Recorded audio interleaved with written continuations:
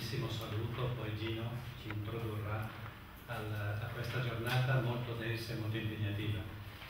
Eh, le due considerazioni che volevo fare salutandovi eh, sono, sono, queste. La prima, eh, per le aree che provano a rispondere agli attraversamenti complessi che stiamo vivendo nei termini della creazione di spazi comuni di convivenza. Per le aree da cui corriamo tutti noi, quindi un po' la rete che si sta strutturando attorno all'associazione Spazio Comune, eh, è importante avere spazi di riflessione di parola, pur con la consapevolezza che eh, l'esperienza in atto riesce a stare nella parola fino a un certo punto, sfugge sempre un po' in avanti noi abbiamo parole costruite sulle esperienze già condotte e sulle interpretazioni della realtà che abbiamo costruito in passato.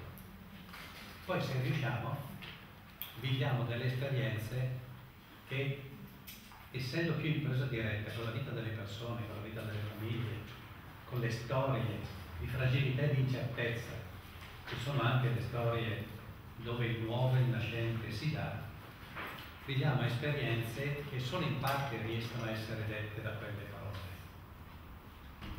Non è semplice vivere questo scarto.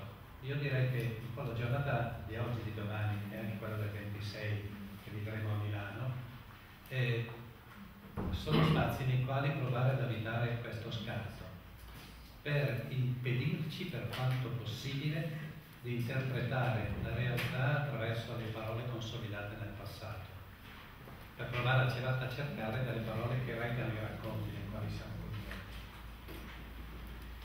E, e, anche delle aree, come dire, dell'impresa sociale, del, dell'iniziativa sociale dal basso e anche delle nostre aree, il rischio,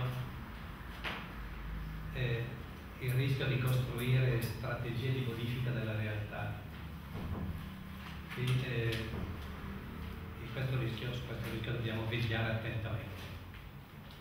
Basterebbe questo per dare ragione all'esistenza di spazio comune, uno spazio di veglia per, per stare attenti a che eh, l'ansia che ci viene nel vivere questi momenti di attraversamento, eh, l'ansia che ci viene di, di, scarso controllo sulla realtà, eh, non ci porti appunto ad utilizzare sempre i percorsi, nel modo di pensare, di interpretare e soprattutto.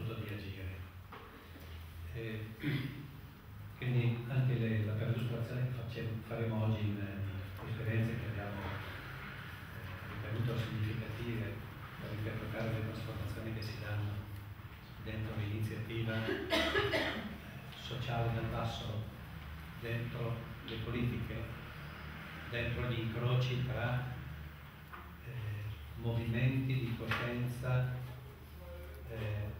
intenzionalità sociali, forme organizzative. Stiamo lavorando su questo incrocio.